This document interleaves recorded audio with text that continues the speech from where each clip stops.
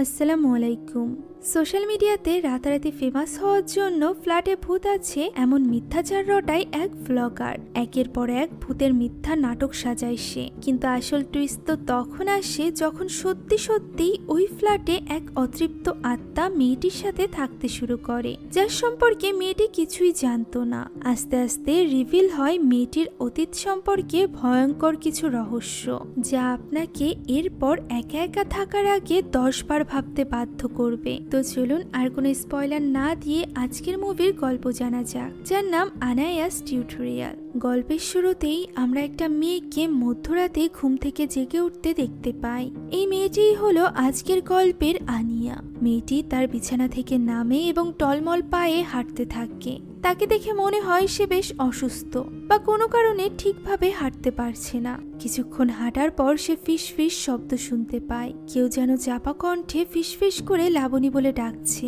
এই কণ্ঠস্বরটি শুনে আনিয়া বেশ ভয় পেয়ে যায় এবং নিজে নিজে বলতে থাকে, তার এখনই পালাতে হবে। তখন ওই কণ্ঠস্বরটি ফিসফিস করে বলে, সে এখান থেকে পালাতে পারবে না। লাবণী এবার ছুটতে শুরু করে, আর এইভাবেই ছুটতে ছুটতে তার ঘুম ভেঙে যায়। সে এতক্ষণ যাবৎ স্বপ্ন দেখছিল। ঘুম ভাঙতেই আনিয়া পানি পান করে এবং তার পানির বোতল দূরে ডাস্টবিনে ছুঁড়ে ফেলে। এরপর সে আবারও ঘুমানোর চেষ্টা করে। তখন জোরে হঠাৎই শব্দ হয়। আনিয়া উঠে দেখতে পায় তার ঘরে রাখা বাক্সগুলো হুড়মুড়িয়ে পড়ে গিয়েছে। কোনো কারণ ছাড়া বাক্সগুলো কীভাবে পড়ল আনিয়া বুঝে উঠতে পারে না। পরদিন সকালে সে একটি ভিডিও দেখে, যেখানে বলা হয় হয় কারোর বাড়িতে যদি কোনো খারাপ আত্মা বাস করে, তাহলে সেই বাড়িতে কি কি হতে পারে? লোকটি বলতে থাকে যে, যদি কেউ রাতে বারবার দুঃস্বপ্ন দেখতে থাকে, তাহলে বুঝতে হবে ওই বাড়িতে কোনো খারাপ আত্মা রয়েছে। ভিডিওটি দেখার সময় তার কাছে মধু নামের একজন মেয়ে বারবার টেক্সট এবং কল দিচ্ছিল। তবে আনিয়া মধুর কল এড়িয়ে যাচ্ছিল। সে এখানে সময় কাটাতে ইন্টারনেটে সার্চ দেয় যে, মধ্যরাতে কি কি করা যেতে পারে। সেখানে উদ্ভূত এবং ভৌতিক সব কর্মকাণ্ড কর্মকাণ্ডের কথা লেখা ছিল। এখন এরপর আনিয়া তার বাড়ি থেকে বেরিয়ে পড়ে। তার বাড়িটি দেখে মনে হয় এটি একেবারেই নতুন। এই বিল্ডিংটি এখনও আন্ডার কনস্ট্রাকশনে ছিল। পুরো বিল্ডিংয়ে আনিয়া ছাড়া আর কেউই নেই। আনিয়া কিছু দূর হেঁটে যাওয়ার পর তার কেমন যেন ভয় হতে থাকে। তার মনে হয় কেউ তার পেছনে আসছে। তাই সে তখনই তার বাড়িতে ফিরে যায়। তবে বাড়ির সামনে এসেও তার মনে হয় কেউ যেন তার পিছু করছে। আনিয়া দ্রুত তার নিজের ঘরে ঢুকে পড়ে। এরপর সে বিছানায় শুয়ে সোশ্যাল মিডিয়ায় স্ক্রল করতে থাকে। তখনই মধু আবারও কল করে। আনিয়া এবারও তার কল কেটে দিয়ে ঘুমিয়ে পড়ে। পরবর্তী দৃশ্যে আমরা মধুকে দেখতে পাই। মধু হলো আনিয়ার বড় বোন। আনিয়ার আসল নাম হলো লাবণী। তার মা এবং বোন তাকে লাবণী বলেই ডাকে। তবে তার সোশ্যাল মিডিয়ার অ্যাকাউন্টের নাম হলো আনিয়া। মধুকে দেখা যায় যে কিনা সকালবেলা ঘুম থেকে উঠেই লাবণী অর্থাৎ আনিয়াকে কল করে যাচ্ছিল। তবে সে কিছুতেই রিসিভ করছিল না। একসময় লাবণী মধুর কল রিসিভ করে। আমরা তাদের কথাবার্তা থেকে বুঝতে পারি সময়টা হলো করোনা লকডাউনের সময় এবং সবাই নিজ নিজ ঘরে তখন বন্দি। মধু লাবণীকে বলে তাদের বাড়ির বাজার শেষ হয়ে গিয়েছে। সে নিজে বের হতে পারছে না। এর মধ্যে আবার লাবণী অন্য জায়গায় গিয়ে বসে আছে। সে যেন খুব দ্রুত বাড়িতে ফিরে আসে। উত্তরে লাবণী বলে, সে ফিরে আসার জন্য বের হয়নি। এছাড়া সে নিজের জন্য একটি আলাদা ফ্ল্যাট ভাড়া নিয়েছে। এখন থেকে সে সেখানেই থাকবে। কেননা লাবণী একজন সোশ্যাল মিডিয়া ইনফ্লুয়েন্সার হতে চায়, যার জন্য তার আলাদা থাকাটাই দরকার। মধু তাকে বলে, সে চাইলেই এসব করতে পারবে না। শুধু শুধু সে যেন টাকা নষ্ট না করে। লাবণী বলে, সে ফিরে যাবে যদি মধু তার ছোটবেলার ওই কাণ্ডের জন্য তার কাছে ক্ষমা চায়, মধু বুঝতে পারছিল না যে লাবণী কোন কাণ্ডের কথা বলছে। এমন সময় কথাবার্তার মাঝখানেই লাবণীর পেছনে কিছু একটা শব্দ হয়। সে সেটা দেখার জন্য উঠে যায়। তখন যে ঘরে ল্যাপটপ আছে, সে ঘরের দরজা একা একাই বন্ধ হয়ে যায়। মধু লাবণীকে ডাকতে থাকে, তবে লাবণী কোনো কথারই জবাব দেয় না। তখনই কল ডিসকানেক্ট হয়ে যায়। লাবণী ফিরে এসে দরজা খুলতে চাইলে দরজাটি কিছুতেই খোলে না। সে অনেকক্ষণ চেষ্টা করে চাবি খোঁজার জন্য রান্নাঘরে যায়। যেখানে যাওয়ার পর সে দেখতে পায় বাড়ির দরজাটি বাইরে থেকে কেউ একজন খোলার চেষ্টা করছে। এটা দেখে লাবণী ভীষণ ভয় পেয়ে যায়। তখন ঘরের আলো জ্বলে ওঠে এবং দেখা যায় একজন ফুড ডেলিভারি বয় খাবার নিয়ে এসেছে। সেই মূলত এতক্ষণ যাবৎ দরজাটি বাইরে থেকে খোলার চেষ্টা করছিল।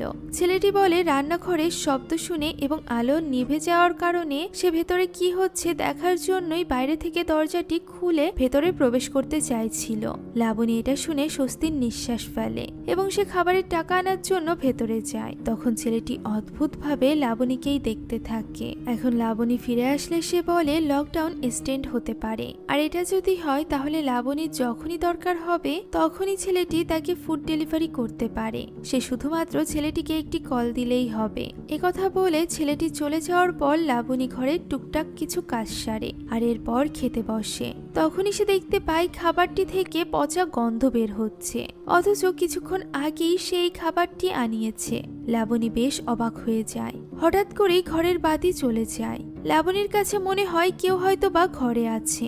তখনই তার ফোনটি বাঁচতে থাকে। সে ধরার আগেই অবশ্যই ফোনটি কেটে যায়। সে কোনো মতে মোমবাতিটি খুঁজে জ্বালায় এবং ভাবতে থাকে এই ফ্ল্যাটে নিশ্চয়ই কিছু একটা আছে, যা স্বাভাবিক নয়। সে মধুকে কল দেওয়ার জন্য তার ফোনটি খোঁজে কিন্তু ফোন কোথাও খুঁজে পায় না। তার স্পষ্ট মনে আছে সে তার বালিশের পাশেই ফোনটি রেখেছিল। ফোনটি সে দূরে একটি টেবিলের উপর খুঁজে পায়। মধুকে সে কল দিয়ে জিজ্ঞাসা করে, একটু আগে মধু কল দিয়ে আবারও কেটে দিল কেন? উত্তরে মধু বলে সে কাটেনি, বরং লাবণী ফোনটি কেটে ফোন সুইচ অফ করে রেখেছিল। লাবণী কিছুই বুঝতে পারে না, মধু জিজ্ঞাসা করে তার কি ধারণা, তার বাড়িতে কি ভূত প্রেত আছে? লাবণী বলে তেমন কিছুই নয়, সে আগে একা থাকেনি, তাই তার কাছে একটু অন্যরকম মনে হচ্ছে। মধু জিজ্ঞাসা করে সে বাড়িতে ফিরবে কখন? উত্তরে লাবণী বলে মধু তাকে সরি বললেই সে বাড়িতে ফিরে যাবে। মধু জিজ্ঞাসা করে সে কিসের জন্য সরি বলবে? তার দেখাশোনা করার জন্য। তখন লাবণী রেগে গিয়ে বলে, তার কি কিছুই মনে নেই যে সে কেন সরি বলবে? তাহলে লাবণী তাকে মনে করিয়ে দিবে। লাবণী কিছু বলার আগেই মধু ফোনটি কেটে দেয়। হয়তোবা সে শুনতেই চাইছিল না যে সে কি অপরাধ করেছে। সকালে মধু দেখতে পায় বাড়িতে থাকা দুধ নষ্ট হয়ে গিয়েছে। পরপর দুদিন এমনটি হলো। আর এই ব্যাপারটাকে অশুভ বলেই ধরা হয়। যে কারণে মধু বেশ চিন্তিত হয়ে পড়ে। অন্যদিকে দিনের বেলা দেখা যায় লাবণী বেশ ভালোই আছে। সে ওই দিন ঘর গোছগাছের কাজ করে। তার দিন ভালোই কাটে,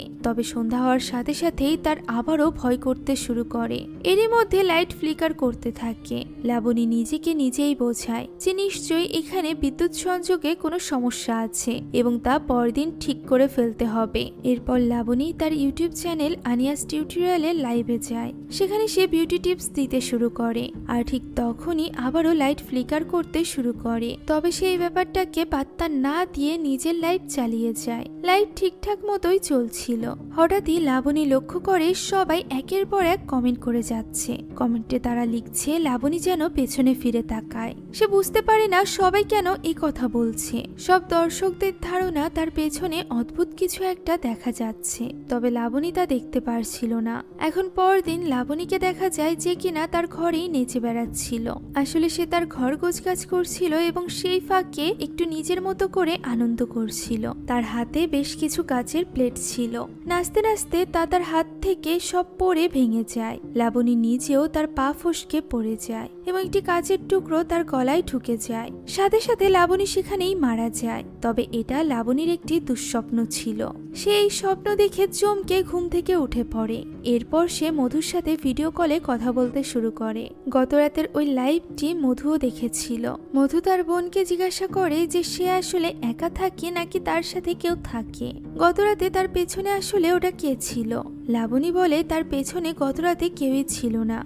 সে একাই থাকে। তবে মধু তার কথা বিশ্বাস করতে চায় না। তখন লাবণী বলে, সে গতরাতে সবার কথা মতো পেছনে ফিরে কাউকেই দেখতে পায়নি। দৃশ্য গতরাতে গেলে আমরা দেখতে পাই, লাবণী যখন পেছনে ফেরে, তখন সে একটি মেয়েকে তার পেছনে দেখতে পেয়েছিল। তবে সে এই কথা কাউকেই জানায়নি। এখন গতরাতের ওই লাইভের পর থেকে একটি ব্যাপার হয়। সেটা হলো, লাবণীর ফলোয়ারের সংখ্যা অনেক বেশি বেড়ে যায়। তার অদ্ভুত ওই লাইভ সবার মধ্যে আগ্রহ সৃষ্টি করে। অন্যদিকে মধু লাবণীর এই ব্যাপারটা নিয়ে একজন মেয়ের সাথে কথা বলে। এই মেয়েটি মূলত মানসিক রোগের চিকিৎসা নিয়ে পড়াশোনা করছিল। তার নাম নিকিতা। নিকিতার কোন একটি প্রজেক্টের ব্যাপারে একটি কেস দরকার, তাই সে মধুর সাথে কথা বলে। মধু তাকে তার বোনের ব্যাপারে সবকিছু খুলে বলে।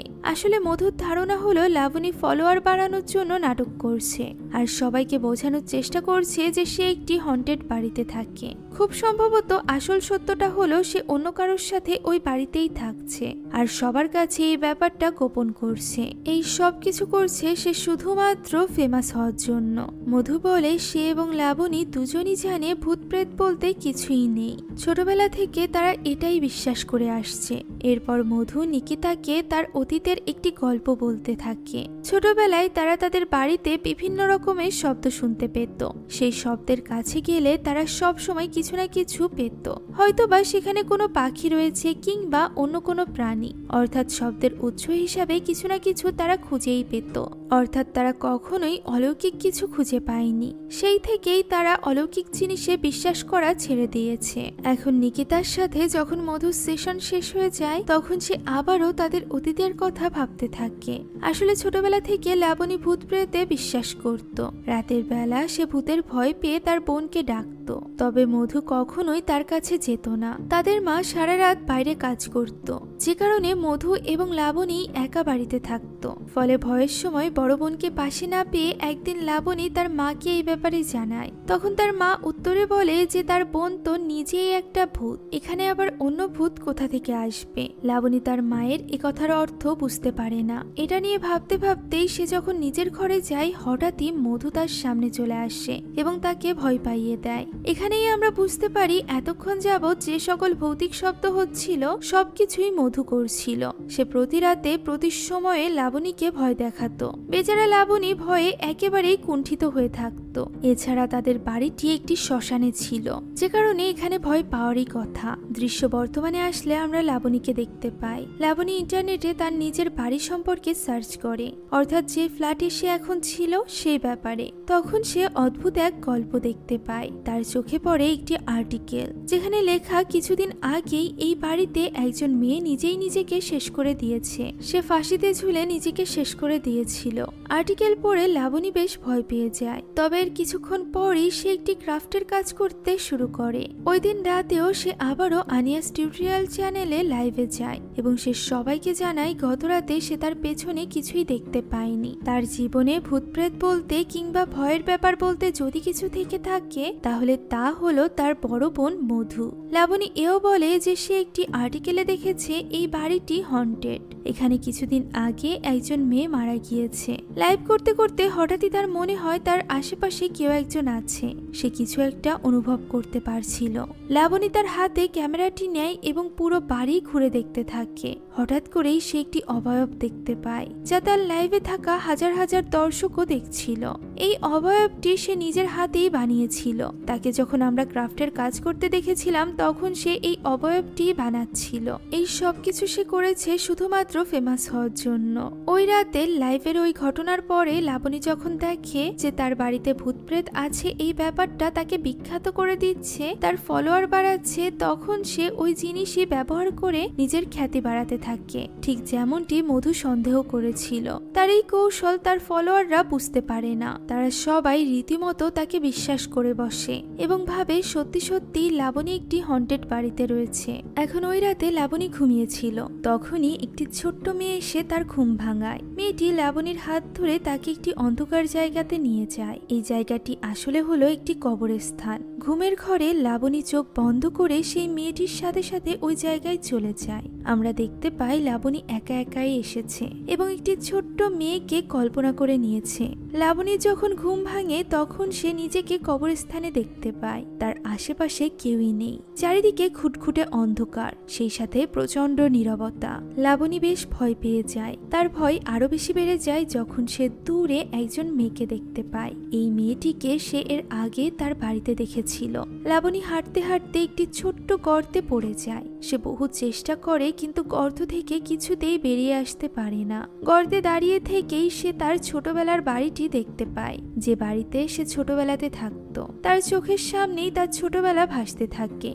সে খুব দ্রুত গর্ত থেকে উঠে দেওয়াল টপকে ওই বাড়িটির ভেতরে যায় এবং সাথে সাথেই তার ঘুম ভেঙে যায়। অর্থাৎ সে আবারও এই সব কিছু স্বপ্নে দেখছিল। ঘুম ভাঙার পর সে তার ফোন হাতে নেয় এবং সোশ্যাল মিডিয়াতে ঢুকতেই দেখতে পায়, অসংখ্য বড় বড় কোম্পানি থেকে তাকে স্পন্সরশিপের জন্য অফার করেছে। তাকে দিয়ে তাদের বিজ্ঞাপন করানোর জন্য অফার দেওয়া হচ্ছে। একটি ভিডিওর মাধ্যমে সে রাতারাতি বিখ্যাত হয়ে গিয়েছে এবং সবাই তাকে ব্র্যান্ড প্রমোটার হিসাবে চাচ্ছে। দৃশ্য চলে যায় হেমন্ত নামের একটি ছেলের উপর। হেমন্ত একজন হ্যাকার। সে লাবণীকে সব সময় ফলো করে থাকে। বর্তমানে তাকে লাবণীর ভিডিও দেখতে দেখা যায়। অন্যদিকে মধু লাবণীকে কল করে এবং তার সাথে রাগারাগি করে। সে বলে, লাবণী, এসব ভূতের নাটক কেন শুরু করেছে? তার বাড়িতে আসলে কে আছে? সে কাকে ভূত বলে চালাচ্ছে? মূলত মধুর মতে লাবণী কোনো ছেলের সাথে আছে এবং তাকেই সে ভিডিওতে ভূত বলে চালিয়ে দিচ্ছে। লাবণী এখানে তার ভুল ধারণা ভাঙায়। সে মধুকে তার নিজের হাতে তৈরি করা ওই ভূতের প্রতিকৃতি দেখায় এবং বলে, এই ভূতই সে দেখিয়েছিল তার দর্শকদের। তার দর্শকরা চাইছে ভয় পেতে এবং সেও তার দর্শকদের ভয় দেখাচ্ছে। এতে দোষের কিছু নেই। মধু তখন আরও বেশি রেগে যায় এবং বলে, তার এমন ধোকাবাজি করা মোটেও উচিত হচ্ছে না। সে খ্যাতি পাওয়ার জন্য যা খুশি তাই করছে। এটা অনেক ভুল একটি কাজ। তবে লাবণী মধুর কথায় তেমন একটা পাত্তা না দিয়ে ফোন কেটে দেয়। তখন আমরা লক্ষ্য করি লাবণীর তৈরি করা ওই প্রতিকৃতিটি খুব ধীরে ধীরে তার দিকে এগিয়ে আসছে। লাবণী যখন পিছনে ফিরে দেখে, তখন এটি তার একদমই পেছনে চলে এসেছিল। তার মনে আছে এটি অনেক দূরে ছিল। লাবণী হঠাৎ করেই বেশ ভয় পেয়ে যায়। পরদিন আমরা লাবণীকে প্রমলিকা নামের একজন মহিলার সাথে কথা বলতে দেখতে পাই। প্রমলিকা একাধারে জ্যোতিষী এবং তান্ত্রিক। সে ভবিষ্যৎ দেখতে পারে এবং সে হাত দেখতে জানে। সেই সাথে ভূতপ্রেতের সম্পর্কেও তার জ্ঞান আছে। প্রমলিকা এবং লাবণী অলৌকিক বিষয় নিয়েই কথা বলছিল। কথা প্রসঙ্গে প্রমলিকা বলে, মৃত আত্মারা নানান কারণে নানান উদ্দেশ্যে মানুষের সাথে যোগাযোগ করার চেষ্টা করে। হঠাৎ করেই প্রমলিকা লক্ষ্য করে লাবণীর ঠিক পেছনে একজন মেয়েকে দেখা যাচ্ছে, যে কিনা ফাঁসিতে ঝুলছে। প্রমলিকা এই দৃশ্য দেখে ভীষণ ভয় পেয়ে যায়। সে তার ল্যাপটপ দিয়ে ছবি তোলার চেষ্টা করে, তবে সেখানে কোনো ছবি ওঠে না। সে মোবাইল দিয়েও ছবি তোলার চেষ্টা করে, তবে এতেও কোনো লাভ হয় না। প্রমলিকা চোখ বন্ধ করে কিছু তন্ত্রমন্ত্র পড়তে থাকে। চোখ খুলতে এসে দেখতে পায় ল্যাপটপের অপর প্রান্তে লাবণী নেই। তার ঘরটি পুরোপুরি খালি। সে যে চেয়ারে বসেছিল, ওই চেয়ারটিও ফাঁকা। প্রমলিকা কয়েকবার লাবণীকে ডাকে, তবে কোনো লাভ হয় না। লাবণী কোনো সাড়া দেয় না। দৃশ্য পরিবর্তিত হয়ে চলে যায় লাবণীর অতীতে। আমরা ছোট্ট লাবণীকে দেখতে পাই। সে তার ঘরের জানালা দিয়ে বাইরে তাকিয়েছিল। হঠাৎ করেই কবরস্থানের কাছে সে একজন মেয়ের ছায়া দেখতে পায়। এই ঘটনাটি সে তার মাকে বলে, তবে তার মা এ কথায় বিশ্বাস করে না। লাবণী এমনিও সারাক্ষণ ভূত প্রেত নিয়েই কথা বলে, তাই তার মা মনে করে এটাও হয়তো বা এরকমই কিছু হবে। তবে এবার হয়তো বা লাবণী ভুল না কারণ একটু পরই কিছু লোক লাবণীদের বাড়িতে চলে আসে। লোকগুলো বলে, তারা একজন মেয়ের লাশ এখানে দাহ করার জন্য এনেছিল। তবে তাকে দাহ করার আগে মেয়েটি কোথাও যেন পালিয়ে গিয়েছে। লোকগুলো লাবণীর মাকে জিজ্ঞাসা করে যে তার বাড়ি যেহেতু এই শ্মশানের কাছে, তাই সে মেয়েটিকে দেখেছে কিনা। লাবণীর মা লোকগুলোর কথা শুনে অনেক রেগে যায়। তাদের বলে, লাশ কীভাবে পালিয়ে যাবে? মেয়েটি নিশ্চয়ই আগে থেকেই জীবিত ছিল। লোকগুলো লাবণীর মায়ের কথা শুনে সেখান থেকে চলে যায়। তবে মনে হয় কিছু একটা গোলমাল তো নিশ্চয়ই আছে। দৃশ্য বর্তমানে আসলে আমরা লাবণীকে দেখতে পাই, যে কিনা তার চেয়ার থেকে পড়ে অজ্ঞান হয়েছিল। যে জিনিসটা প্রমলিকা দেখেছিল, সেই জিনিস সেও দেখেছিল। আর এটা দেখেই সে ভয় পেয়ে জ্ঞান হারিয়েছিল। জ্ঞান ফিরে আসলে লাবণী ফোন নিয়ে বসে, যেখানে তার অসংখ্য ফলোয়ারদের মেসেজের মধ্যে হেমন্তের মেসেজও দেখা যায়। হেমন্ত তাকে মেসেজ করে জিজ্ঞাসা করে যে তার চেহারা এমন কেন দেখাচ্ছে? সে কি ঠিকঠাক ভাবে নিজের যত্ন নিচ্ছে না? তার এত ফলোয়ারদের মধ্যে এত আপন ভাবে কেউ তার খোঁজ করেনি। লাবণীর ব্যাপারটা ভালো লাগে, তাই সে প্রথমবারের মতো তার কোনো ফলোয়ারকে রিপ্লাই করে। মেসেজে কিছু কথাবার্তার পর হেমন্ত লাবণীকে ভিডিও কল করে। ভিডিও কলে তারা টুকটাক কথা বলতে থাকে। তাদের দিন কেমন কাটছে লকডাউনে তারা কি করছে ইত্যাদি। এরপর হেমন্ত লাবণীর বাড়িতে থাকা ভূতের কথা জিজ্ঞাসা করে। হেমন্ত জিজ্ঞাসা করে, ওই ভূতের জন্যই লাবণীকে এতটা ম্লান লাগছে কিনা? ভূতের প্রসঙ্গ আসতেই লাবণী ফোন রেখে দেয়। হেমন্ত একের পর এক কল করে। ভয়েস মেসেজ পাঠিয়ে তাকে সরি বলতে থাকে। তার নিজের সম্পর্কে অনেক কথা বলতে থাকে। তবে লাবণীর আর হেমন্তের রিপ্লাই দেওয়া হয় না। এরপর আমরা লাবণীকে কিছু প্রোডাক্টের লাইভ করতে দেখতে পাই। এই লাইভের কমেন্টের মধ্যে সবাই তাকে মিথ্যুক, ধোকাবাজ, প্রতারক বলে গালাগাল করছিল। আসল ঘটনা হলো, গতরাতে মধুর সাথে তার ভিডিও কলের ভিডিওটি কোনোভাবে লিক হয়ে গিয়েছিল। তার কথাবার্তা, নকল, ভূত দেখানো সবকিছু এখন দর্শকরা জেনে গিয়েছে। ফলে তার প্রতি তারা সম্পূর্ণভাবে বিশ্বাস হারিয়ে ফেলেছে। এই সব কিছু দেখে শুনে লাবণী ভীষণ চমকে যায়। সেভাবে এই সব কিছুর পেছনে মধুর হাত রয়েছে, তাই সে মধুকে একের পর এক কল দিতে থাকে। তবে ওই সময় মধুর ফোনে কোনো কারণে কল ঢোকে না। অন্যদিকে দর্শকদের উত্তেজনা বাড়তে থাকে। পুলিশের পক্ষ থেকেও তাকে সাবধান করা হয়, যাতে করে সে এইভাবে দর্শকদেরকে ভয় দেখিয়ে বিশৃঙ্খলা না তৈরি করে। দর্শকদের মধ্যে কেউ কেউ লাবণীর পক্ষে কথা বললেও বেশিরভাগই লাবণীর বিপক্ষে কথা বলে। এতে করে তার ফলোয়ারদের সংখ্যাও কমতে থাকে, ফলে সে খুবই দুঃখী হয়ে যায়। মন খারাপ কাটাতে সে হেমান্তের সাথে কথা বলে। হেমান্ত তাকে সাহস দেয়, সান্ত্বনা দেয়। একা একা থাকা লাবণীর কথা বলার কেউই নেই, তাই সে হেমান্তের সাথে অনেক কিছু শেয়ার করে। হেমান্ত তাকে বলে, তার জীবনের ভূত যে তার বড় বোন, এই ব্যাপারটা তার দর্শকদের সাথেও শেয়ার করা উচিত। এতে করে দর্শকদের তার প্রতি আস্থা ফিরতে পারে। এভাবেই কথা বলতে বলতে লাবণী হেমন্তের সাথে তার ছোটবেলার একটি ঘটনা খুলে বলে। ছোটবেলায় মধু স্কুলে যেতে চাইতো, তবে বোনের জন্য সে স্কুলে যেতে পারত না।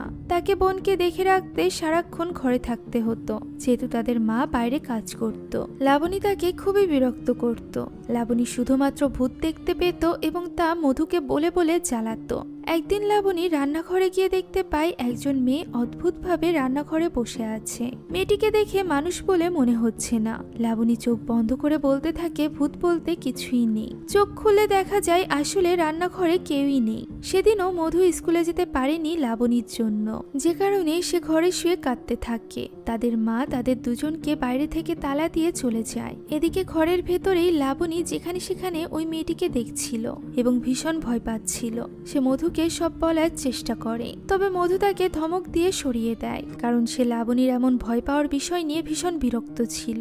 এখন বর্তমানে হেমন্তের কথা মতো লাবণী একটি লাইভে যায়, যেখানে সে তার সব দোষ মধুর উপর চাপিয়ে দেয়। সে তার শরীরে একটি দাগ দেখিয়ে বলে, এই দাগ তার বড় বোন তাকে দিয়েছে। ভূতের ব্যাপারে সেদিন মিথ্যা কথা বলা সম্পর্কে লাবণী বলে, সে ভূত প্রেতের কথা বলেছে যাতে করে তার বোন তার বাড়িতে না আসে। কেননা তার বোন যদি তার বাড়িতে আসে, তাহলে সে আবারও তাকে টর্চার করতে শুরু করবে। সে সব আর সহ্য করতে পারছে না। এভাবে করে সে মধুকে পুরোপুরি ভিলেন বানিয়ে দেয়। দর্শকরা বোকার মতো আবারও তার কথা বিশ্বাস করে এবং তাকে ফলো করতে শুরু করে। ধীরে ধীরে লাবণীর ফলোয়ার সংখ্যা বহুগুণে বেড়ে যায়। অন্যদিকে বেচারা মধু বোনের জন্য নিকিতাকে তার বাড়িতে ডেকে আনে। তবে নিকিতাও এবার লাবণীর কথা বিশ্বাস করে এবং মধুর বাড়ি থেকে চলে যায়। অন্যদিকে বিভিন্ন অলৌকিক বিষয় নিয়ে গবেষণা ব্যক্তিরা লাবণীকে নিয়ে লাইভ করতে থাকে। তাদের এক পক্ষের ধারণা লাবণীর বাড়িতে সত্যিই ভূত আছে, আর অন্য পক্ষের ধারণা লাবণী মিথ্যা কথা বলছে। তাদের সবার দাবি লাবণী যেন লাইভে এসে তার বাড়ি দেখায়। এসব দেখে লাবণী বেশ চিন্তিত হয়ে পড়ে। সে ব্যাপারটা হেমন্তের সাথে শেয়ার করে। হেমন্তকে জিজ্ঞাসা করে সে কি করবে। তার বাড়িতে তো সত্যিকার অর্থে ভূত নেই। সে ভূত কোথা থেকে দেখাবে? হেমন্ত তাকে লাইভ শুরু করতে বলে। পরে যা হবে তা দেখা যাবে। হেমন্তের কথা মতো লাবণী তার বাড়িতে কিছু প্রস্তুতি নেয়। এরপর সে তার ইনস্টাগ্রাম থেকে লাইভে আসে। তার সাথে যুক্ত হয় শ্রুতি এবং মান্টু নামের দুজন প্যারানর্মাল অ্যাক্টিভিস্ট। শ্রুতি লাবণীকে জিজ্ঞাসা করে তার বাড়িতে মৃত মেয়েটির কোনো জিনিস আছে কিনা? লাবণী বলে, কিছু জিনিস আছে। শ্রুতি তাকে সেই জিনিসগুলো দিয়ে একটি পুতুল তৈরি করতে বলে। লাবণী তাই করে। এরপর লাবণীকে শ্রুতি ঘরের মাঝখানে একটি পেন্টাগন চিহ্ন আঁকতে বলে। লাবণী সেটাই করে এবং শ্রুতির কথা মতো পুতুলটি সেই চিহ্নের ঠিক মাঝখানে রেখে দেয়। এরপর শ্রুতি লাবণীকে একটি কাবার্ডে লুকিয়ে পড়তে বলে। লাবণী একটি কাবার্ডে ঢুকে হেমন্তকে কল দেয় এবং জিজ্ঞাসা করে, এখন সে কি করবে? বাড়িতে যদি ভৌতিক কিছু না পাওয়া যায়, তাহলে তার ফলোয়াররা আবারও কমতে থাকবে। সবাই তাকে নিয়ে আবারও কথা বলবে। হেমন্ত বলে, এমন কিছু হলে তার উচিত হবে কিছুদিনের জন্য হেমন্তের বাড়িতে থাকতে যাওয়া এবং কিছুদিনের জন্য লাইভ করা বন্ধ করে দেওয়া। ধীরে ধীরে মানুষ সবকিছু ভুলে গেলে সে আবারও নতুন করে সব শুরু করতে পারবে। অন্যদিকে আমরা দেখতে পাই লাবণী কি কি প্রস্তুতি নিয়ে রেখেছিল। সে কালো সুতা দিয়ে তার ঘরের বিভিন্ন জিনিস বেঁধে রেখেছিল, যাতে করে সে ওই সুতাগুলো টেনে টেনে নিয়ন্ত্রণ করে তার ঘরে ভূতের উপস্থিতির পরিবেশ তৈরি করতে পারে। তবে শ্রুতি তাকে কাবার্ডে ঢুকে থাকতে বলায় সে কিছুই নিয়ন্ত্রণ করতে পারছিল না। তার সব পরিকল্পনা ভেস্তে গিয়েছিল। কাবার্ডে অনেকটা সময় চলে যায়। আধা ঘণ্টা পর তার বাড়িতে অদ্ভুত কিছু ঘটনা ঘটতে থাকে, যেমন লাইট ফ্লিকার করতে থাকে। তবে লাবণী এই সব কিছু দেখতে পারে না। সে তো কাভার্ডের মধ্যে হেমন্তের সাথে কথা বলায় ব্যস্ত ছিল। তার এই কথাবার্তার মাঝেই হেমন্ত লাবণীকে তার মনের কথা বলে দেয় যে সে লাবণীকে ভালোবাসে। লাবণী তখনই কোনো উত্তর দেয় না। সে আসলে কি বলবে তা বুঝতে পারছিল না। কেউ তাকে এই প্রথম ভালোবাসার কথা বলেছে। হেমন্ত যখন কথা বলছিল, তখন তার বাড়ির কলিং বেল বেজে ওঠে। দেখা যায় তার দরজার বাইরে একজন করোনার রোগী দাঁড়িয়ে আছে। সে হেমন্তের কাছে কিছু ঔষধ চায়। তবে হেমন্ত তাকে মানা করে দেয় এবং দ্রুত সেখান থেকে চলে যেতে বলে। তার কথা বলার এই বিরতিতে লাবণী হঠাৎ করেই কাবার্ড থেকে পড়ে যায়। সে কাবার্ডের বাইরে আসতেই তার ঘরে অদ্ভুত ফিসফিস শব্দ শুনতে পাওয়া যায়। কেউ যেন তাকে লাবণী লাবণী বলে ডাকছিল। কেউ তাকে বলছিল সে লাবণীকে চায়। লাবণী এতে করে বেশ ভয় পেয়ে যায়। অন্যদিকে লাইভ তখনও চলছিল। শ্রুতি লাবণীকে দ্রুত মোমবাতি জ্বালাতে বলে। সে মোমবাতি নেয়, তবে কিছুতেই মোমবাতি জ্বালাতে পারে না। মোমবাতিটি বারবার নিভে যাচ্ছিল। তখন একটি মেয়ে লাবণীর পেছনে এসে দাঁড়ায়। আত্মাটি লাবণীর পিঠে হাত দেয়। কেউ সেই আত্মাকে দেখতে পায় না। শুধুমাত্র লাবণীই দেখতে পায়। লাবণী তার দর্শকদের বলে, তাকে যেন এসে বাঁচায়। সে তার বাড়ির ঠিকানা বলতেই যাবে ঠিক তখনই তাকে হাওয়ায় তুলে কেউ আশ্রে ফেলতে থাকে। সে তার ঠিকানা আর বলতে পারে না। আত্মাটি লাবণীকে মাটিতে ফেলে তাকে বলতে থাকে, লাবণী যেন তাকে তার ভেতরে যেতে দেয়। লাবণী চেষ্টা চালিয়ে যায় সেই অশরীরের সাথে লড়াই করার। এক সময় আর সে পেরে ওঠে না এবং ভীষণ দুর্বল হয়ে পড়ে। তখন সে তার চোখের সামনে তার মা এবং তার বড় বোন মধুকে কল্পনা করতে থাকে। মা বোনকে দেখে তার সাহস অনেকটা বেড়ে যায়। সে মেয়েটির আত্মাকে তার ভেতরে আসতে বলে। তখন ওই মেয়ের আত্মা তার মুখের মাধ্যমে শরীরে প্রবেশ করে। এরপর লাবণী একদমই যেন পাল্টে যায়। তার বেশভূষা, পোশাক সবই পাল্টে যায়। সে লাইভে দর্শকদের সামনে এসে অদ্ভুত অঙ্গভঙ্গি করতে থাকে, নাচতে থাকে, ঘরের সব জিনিসপত্র ভেঙে ফেলতে থাকে। এখানে তার নাচের অঙ্গভঙ্গিও বেশ অদ্ভুত ছিল। সাধারণ মানুষ এভাবে নাচতে পারে না। তার লাইভ হেমন্ত দেখে। সবকিছু দেখে সে তার ভালোবাসার মানুষকে বাঁচানোর জন্য করোনার লকডাউন ভেঙে বের হওয়ার প্রস্তুতি নেয়। তখনই তার বাড়ির পাশে করোনা আক্রান্ত ব্যক্তিটিকে হসপিটালে নেওয়ার জন্য ডাক্তাররা আসে। যেহেতু করোনা আক্রান্ত ব্যক্তির আশেপাশে হেমন্ত ছিল, তাই ডাক্তার হেমন্তের বাড়িটি সিল করে দেয় এবং তাকে কোয়ারেন্টাইনে থাকতে বলে। হেমন্তের কিছুই করার থাকে না, তাকে বাড়ির ভেতরে গিয়ে বসে থাকতে হয়। দৃশ্য আবারও চলে যায় লাবণীর অতীতে। আমরা এখানে জানতে পারি যে লাবণীরা কেন শ্মশান ঘাটের ওখানে থাকতো। মূলত লাবণীর বাবার মৃত্যুর পর তারা যে বাড়িতে থাকতো, সেই বাড়ির বাড়িওয়ালা তাদেরকে বাড়ি থেকে বের করে দিয়েছিল। লাবণীর অসহায় মা তার দুই মেয়েকে নিয়ে তাদের এক আত্মীয়ের বাড়িতে গিয়ে ওঠে। তবে ওই আত্মীয় তাদেরকে রাখে না। তাদের সাথে খারাপ ব্যবহার করে তাদেরকে তাড়িয়ে দেয়। লাবণীর মা অনেক খুঁজেও সাধ্যের মধ্যে কোনো বাড়ি পায় না। অনেক খোঁজার পর একটি বাড়ি পাওয়া যায়। এই বাড়িটি তারা বেশ সস্তায় পেয়ে গিয়েছিল। কারণ এটি শ্মশানের একদমই পাশে ছিল। দৃশ্য চলে আসে বর্তমানে। লাবণীর দর্শকরা দেখতে পায় লাবণীর তাণ্ডব নৃত্যের কারণে তার ল্যাপটপের লেন্স ভেঙে চৌচির হয়ে গিয়েছে। লাবণীকে তারা তাদের সামনে দেখতে পাচ্ছে না। সে যেন কোথাও উধাও হয়ে গিয়েছে। মধুকে দেখা যায় তার তরকারি জিনিসপত্র কিনে বাড়ি ফিরছে। মধু এবং তার মায়ের সম্পর্ক তেমন একটা ভালো ছিল না। সময়ের সাথে সাথে এখন তা আরও বেশি খারাপ হয়ে গিয়েছিল। মধু সারাক্ষণ তার মায়ের সাথে খিটমিট লেগেই থাকতো। হঠাৎই মধু লক্ষ্য করে লাবণীর এক ফলোয়ার মধুর বাড়িতে চলে এসেছে তার ছবি তোলার জন্য। সে মধুকে জিজ্ঞাসা করে সে আনিয়ার বোন কিনা। সে তার ছবি তুলে সবখানে ভাইরাল করে দিবে এবং আনিয়ার জন্য ন্যায় প্রতিষ্ঠা করবে। একথা বলে মেয়েটি বাইক নিয়ে চলে যেতে থাকে। মধু তার ছবিগুলো নেওয়ার জন্য তার পেছন পেছন যেতে থাকে। তবে দুর্ভাগ্যবশত তার বাইকের অ্যাক্সিডেন্ট হয়ে যায়। মেজাজ খারাপ করে মধু বাড়িতে ফিরে আসে। তার মা তাকে জিজ্ঞাসা করে, কি হয়েছে? এতে তার মেজাজ আরও বেশি খারাপ হয়ে যায়। সে তার মায়ের সাথে চিৎকার করে বলে, বিশ বছর আগে সে একটি মেয়েকে বাড়িতে নিয়ে এসেছিল এবং মধুকে বলেছিল এই মেয়েটি তার বোন। সেই বোনই এখন তার সবচেয়ে বড় মাথা ব্যথায় পরিণত হয়েছে। এখানে আমরা বুঝতে পারি লাবণী এবং মধু আপন বোন না মধুর মা লাবণীকে কোথাও থেকে কুড়িয়ে এনেছিল। এই কারণেই মূলত মধু লাবণীকে খুব একটা পছন্দ করতো না ছোটবেলা থেকেই। লাবণী তাকে ভয়ের কথা বললে সে অনেক বেশি বিরক্ত হতো। মধু মায়ের সঙ্গে কথা শেষ করে যেখানে তার অ্যাক্সিডেন্ট হয়েছে সেখানে ফিরে যায়। ওই মেয়েটিও সেখানে তার মোবাইল হারিয়ে ফেলেছিল। তাই সে তার মোবাইলটি খুঁজতে এসেছে। ততক্ষণে মধু মোবাইলটি খুঁজে পেয়ে গিয়েছিল।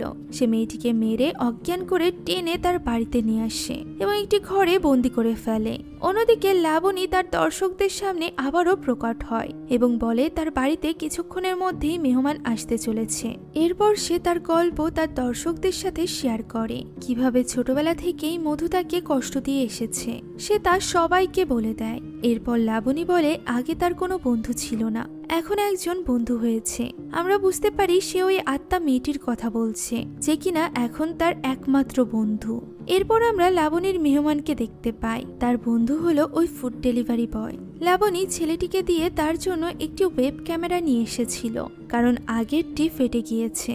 ছেলেটি ক্যামেরা লাগিয়ে দেয়, আর ঠিক তখনই ক্যামেরাতে সবার সামনে মধু ওই ছেলেটির গলায় ছুরি মেরে তাকে সেখানেই শেষ করে দেয়। আট লক্ষ মানুষ তাকে এই খুনটি করতে দেখে, তবে লাবণীর মুখে কোনো চিন্তার ছাপই ছিল না। সে নির্বিকারে খুন করে আবারও নাচতে শুরু করে। সে নাচতে নাচতে গাইতে গাইতে তার ঘরটি পরিষ্কার করতে থাকে। ঘরে পড়ে থাকা রক্ত মুছতে থাকে। কাজ শেষে লাবণী ডাক্তারের সাথে যোগাযোগ করে। ভিডিও কলে ডাক্তারকে সে জিজ্ঞাসা করে নিজের কপালের ক্ষত কীভাবে সে সেলাই করবে। ডাক্তার তাকে নিয়ম বলে দেয় এবং সে সুই সুতো নিয়ে সবার সামনে নির্বিকারভাবে নিজের কপাল নিজেই সেলাই করতে থাকে। তখনই তার ল্যাপটপের স্ক্রিনে শ্রুতি এবং আরেকজন তান্ত্রিক চলে আসে। তারা দুজন মিলে মন্ত্র পড়তে শুরু করে যাতে করে লাবণীর ভেতরে থাকা ওই আত্মাকে তাড়ানো যেতে পারে। লাবণী ছটফট করতে থাকে। তার ভেতরের আত্মা তাকে নানাভাবে কষ্ট দেয়। একটু পরই লাবণী পৌঁছে যায় শ্রুতির বাড়িতে এবং তাকে সেখানেই মেরে ফেলে। অন্যদিকে নিকিতা পুলিশকে ফোন দিয়ে মধুর বাড়ির ঠিকানা দেয়। সে বলে, হয় মধুর জীবন ঝুঁকিতে আছে, তা না হলে মধু কারোর জীবন ঝুঁকিতে ফেলতে পারে। পুলিশ তখন তাদের কনস্টেবলকে মধুর বাড়ির সামনে পাঠিয়ে দেয়। গাড়ির শব্দ শুনে মধুর বাড়িতে আটকে থাকা মেয়েটি চিৎকার করতে থাকে।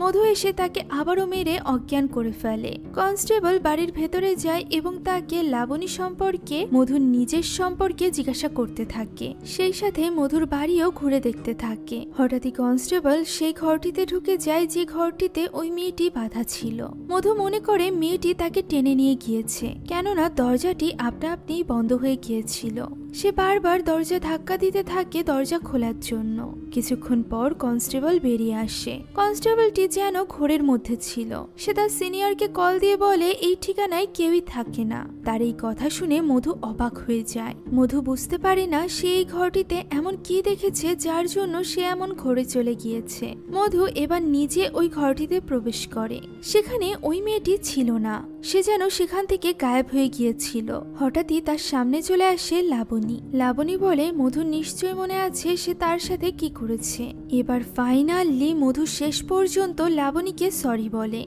মধু কাঁদতে কাঁদতে বলে, সেদিন সে লাবণীর সাথে যা করেছে সেটা ভুল করেছে, তবে এর পেছনে কারণও আছে। লাবণীকে সেই কারণটি শুনতে হবে। লাবণী তখন কোনো কথা না শুনেই মধুর মাথা চেপে ধরে এবং মধুর চোখের সামনে চলে আসে ফ্ল্যাশব্যাক।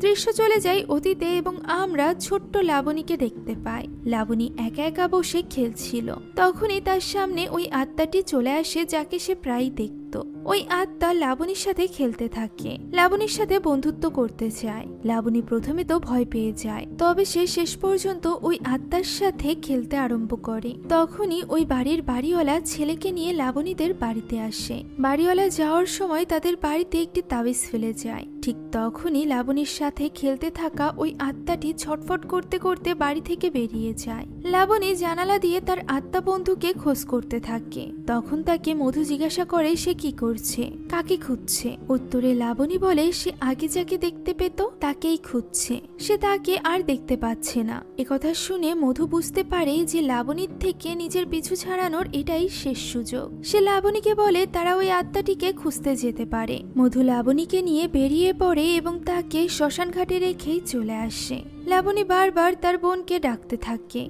মধু কোনো সাড়া দেয় না। পরদিন সকালে মধু বাড়ি থেকে বের হতেই দেখতে পায় তার সামনে লাবণী দাঁড়িয়ে আছে। লাবণী জিজ্ঞাসা করে, মধু তাকে ফেলে চলে এসেছিল কেন? সে তাদের মাকে সব বলে দিবে। মধু তখন লাবণীকে প্রচণ্ড মারতে থাকে, যাতে করে সে তাদের মাকে কিছু না বলে। মার খেতে খেতে ছোট্ট লাবণী সেখানেই অজ্ঞান হয়ে যায়। দূর থেকে তাদের মা এই দৃশ্য দেখে ফেলে। দৃশ্য বর্তমানে ফিরে আসে। লাবণী মধুর বাড়ি থেকে চলে যায় হেমন্তের বাড়িতে। সে সেখানে গিয়ে হেমন্তের হাত ধরে নাচতে থাকে। কারণ হেমন্ত তার সাথে একবার নাচতে চেয়েছিল। হেমন্ত তাকে দেখে খুশি হয় না, বরং সে অবাক হয়ে জিজ্ঞাসা করে, লাবণী তার বাড়িতে কীভাবে ঢুকলো? দরজা, জানালা সবই তো কোয়ারেন্টাইনের জন্য লক করা। সে আসলে লাবণী নাকি অন্য কিছু? উত্তরে লাবণী হেমন্তকে সব সত্যি কথা বলে। সে এবং আত্মাটি এখন একসাথেই বাস করছিল। তারা একে অপরকে ভালো করে বুঝতে পারে, একে অন্যকে সাহায্য করে। এরপর লাবণী বলে, সে হেমন্তকে চিনতে পেরেছে। হেমন্ত মূলত তাদের পুরনো বাড়ির বাড়িওয়ালার ছেলে। যার বাবা তাদের বাড়িতে তাবিজ ছুঁড়ে তার বন্ধুকে তাড়িয়ে দিয়েছিল। এই বলে লাবণী সেখান থেকে উধাও হয়ে যায়। অন্যদিকে মধু কারোর কাছে ফোন করে লাবণীর বাড়ির ঠিকানা জোগাড় করে। এরপর সে লাবণীর বাড়ির উদ্দেশ্যে রওনা দেয়। তবে যাওয়ার আগে সে তাদের মাকে মেরে ফেলে, কারণ এই সব কিছুর জন্য সে তার মাকেই দায়ী মনে করত। একেই তো ছোটবেলা থেকে সে মা বাবার তেমন ভালোবাসা পায়নি।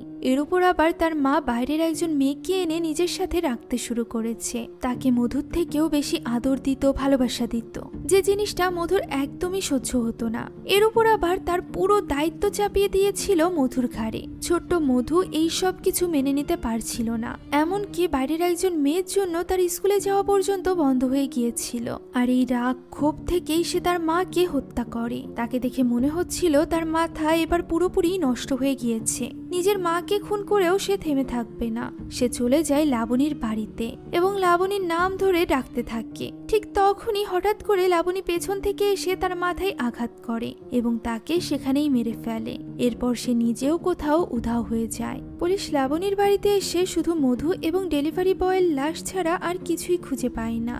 পুলিশ খুঁজতে খুঁজতে ল্যাপটপের কাছে চলে আসে এবং লক্ষ্য করে তখনও লাইভ চলছে। আর লাইভের সবাই কমেন্ট করে বারবার পুলিশদেরকে বলছে পেছনে ফিরে তাকাতে। পুলিশের মানে বুঝতে পারে না, তবে তারা পেছনে তাকানোর আগেই এই সিরিজটি এখানেই শেষ হয়ে যায়। পুলিশের পেছনে কি ছিল? যা দেখে লাইভের সবাই এতটা ভয় পেয়ে গিয়েছিল? নিশ্চয়ই ভয়ঙ্কর কিছু হবে। হয়তোবা ওই আত্মাটি নিজে, তা না হলে হয়তোবা লাবণী, জানি না কি। কেননা এই সিরিজে তো এই ব্যাপারটা রহস্যই রাখা হয়েছে। পরবর্তীতে এই সিরিজের সেকেন্ড সিজন আসবে কিনা এই ব্যাপারে জানি না। তবে আসলে সেটার এক্সপ্লেনেশন আমি আপনাদের জন্য অবশ্যই নিয়ে আসব। ততদিন পর্যন্ত ভালো থাকবেন, সুস্থ থাকবেন। সেই সাথে এভাবেই সব সময় আমাদের পাশে থাকবেন। ভিডিওটি ভালো লাগলে লাইক এবং কমেন্ট করতে ভুলবেন না। আল্লাহ হাফেজ।